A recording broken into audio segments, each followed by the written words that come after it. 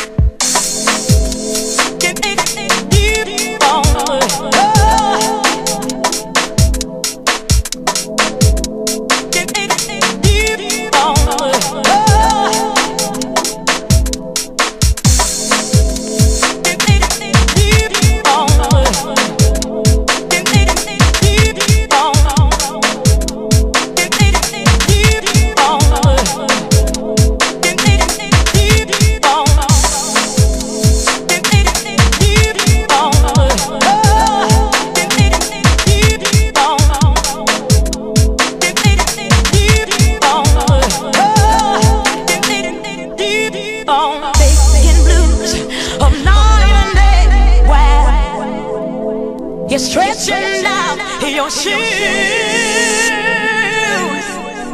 Why you keep on running?